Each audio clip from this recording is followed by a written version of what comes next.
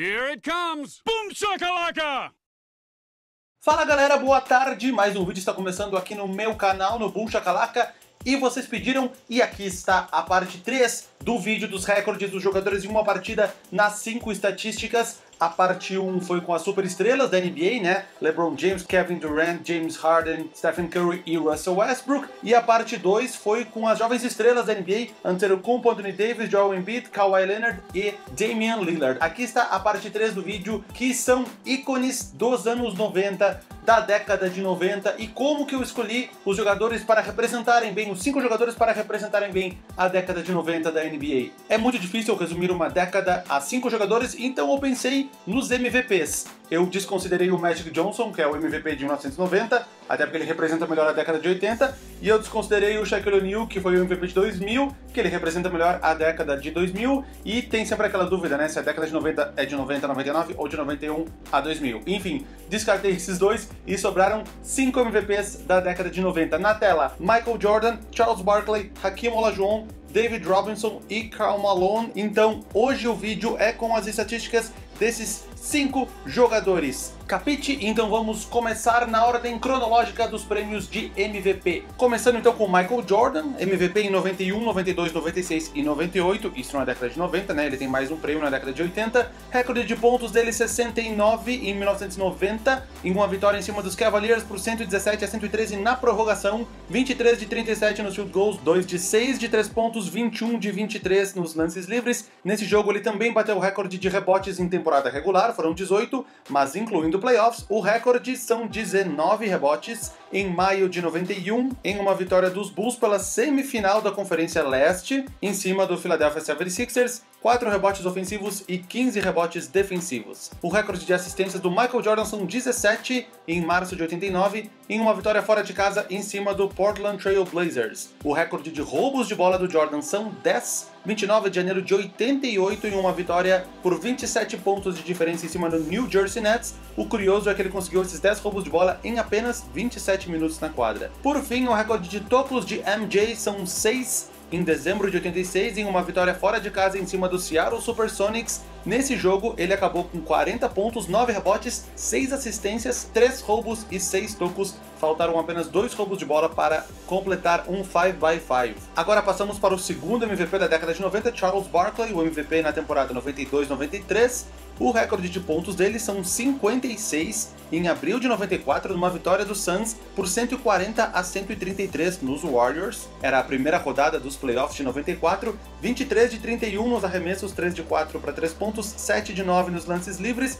O recorde dele em temporada regular são 9 pontos a menos, são 47 pontos. O recorde de rebotes do Charles Barkley é bem curioso, são 33 rebotes, dia 2 de novembro de 96, numa vitória do Rockets em cima do Suns. Essa era a estreia do Charles Barkley com a camisa do Houston Rockets, exatamente contra o seu ex-time de onde ele havia acabado de ser trocado. Os 33 rebotes foram 8 ofensivos e 25 defensivos. O recorde de assistências do Barkley são 14 em novembro de 86, jogando pelos Sixers em uma derrota para os Pacers num jogo de duas prorrogações. Essas 14 assistências vieram acompanhadas de 34 pontos e 10 rebotes, ou seja, um triple-double do Barkley. O recorde de roubos dele são 7, isso aconteceu 5 vezes em 5 temporadas distintas, 4 jogos de temporada regular e um jogo nos playoffs de 93. E o recorde de tocos do Barkley são 7, em uma vitória dos Sixers em cima dos Blazers em 86 ele acabou esse jogo com 31 pontos, 21 rebotes, 9 assistências, além dos 7 tocos. É o mais perto que ele chegou de um quadruple-double na carreira. O mais incrível desse jogo é que ele veio do banco de reservas. Agora vamos para Hakim Olajuwon, MVP da temporada 93-94.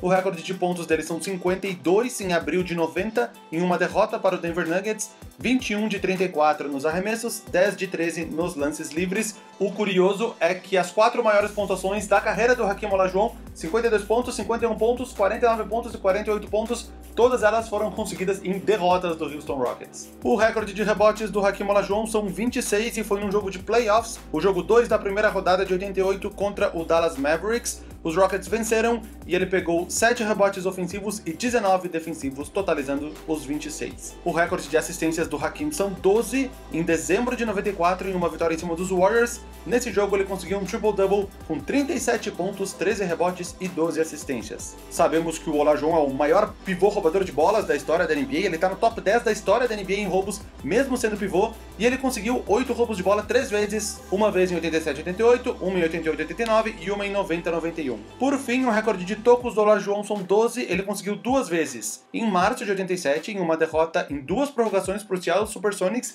Nesse jogo ele conseguiu um 5 by 6, que é mais que um 5 by 5. No caso é um mínimo de 6 em cada estatística. Ele acabou esse jogo com 38 pontos, 17 rebotes, 6 assistências, 7 roubos de bola e 12 tocos. Ele conseguiu pelo menos 6 em cada estatística. Isso só aconteceu duas vezes na história da NBA.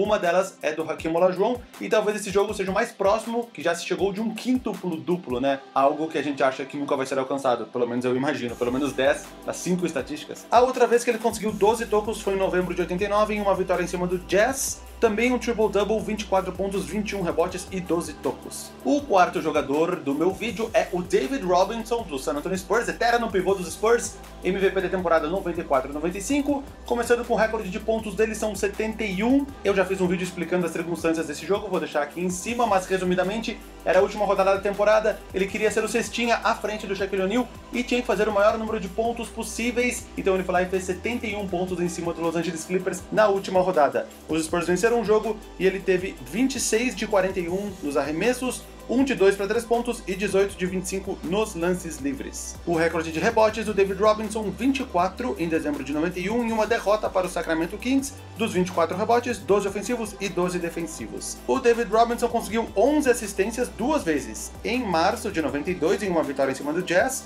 num triple-double de 27 pontos, 12 rebotes e 11 assistências, e em maio de 93, no jogo de playoffs, o jogo 4 da primeira rodada contra os Blazers, também um triple-double, 20 pontos, 17 rebotes e as 11 assistências. O recorde de roubos de bola do David Robinson foi em 2000, em uma vitória em cima do Rockets. Ele já estava com uma idade mais avançada, né? Já tinha sido campeão da NBA após a chegada do Tim Duncan e jogou apenas 24 minutos do jogo, conseguindo 7 roubos. E o recorde de tocos do David Robinson são 12 em fevereiro de 90, em uma vitória em cima de Minnesota. Nesse jogo também conseguiu um triple-double, além dos 12 tocos, 24 pontos e 12 rebotes. Por fim, para finalizar o vídeo, Karl Malone, MVP de 97 e de 99, recorde de pontos 61 em janeiro de 90 em um blowout de 48 pontos do Jazz em cima do Milwaukee Bucks, 21 de 26 nos arremessos, 19 de 23 nos lances livres e ele jogou apenas 33 minutos e nesse ritmo, se ele jogasse os 48 minutos com essa média de pontos por minuto, ele teria marcado 88 pontos nesse jogo. Recorde de rebotes do Karl Malone 23 em março de 94 em uma derrota para os Warriors, 11 ofensivos e 12 defensivos. O Karl Malone chegou nas 10 assistências 7 vezes, dessas 7 vezes, 4 foram triple-double doubles. A última vez que ele conseguiu 10 assistências, ele tinha 40 anos de idade, foi jogando pelo Los Angeles Lakers e ele conseguiu um triple-double com 10 pontos, 11 rebotes e 10 assistências, e é o triple-double mais velho da história da NBA, o único triple-double quando o jogador tinha mais de 40 anos de idade. O recorde de roubos do Karl Malone são 7, ele conseguiu 4 vezes em 3 temporadas diferentes, e o recorde de tocos do Karl Malone são 5, ele conseguiu 6 vezes ao longo de 5 temporadas diferentes, incluindo uma vez nos playoffs de 1992. E essa foi a parte 3 do vídeo dos recordes dos jogadores em uma partida nas 5 estatísticas. Eu ainda estou me perguntando se eu faço a parte 4 desse vídeo, que era uma alternativa lá na pesquisa que eu fiz, que eram as estrelas dos anos 2000. Vocês devem imaginar que deve demorar bastante para fazer esse vídeo, colocar todas as informações na tela e ter certeza que não teve nenhum erro de digitação, isso demora bastante. Se eu tiver um tempinho, eu faço essa semana, parte 4. Se não, vai ser um vídeo diferente aqui no Boom Chacalaca. Mais uma vez, muito obrigado quem está assistindo aqui ao meu canal. Um grande abraço para vocês e nos vemos no meu próximo vídeo, sendo a parte 4 dessa sequência dos recordes ou sendo um vídeo inédito, diferente. Até lá, um abraço.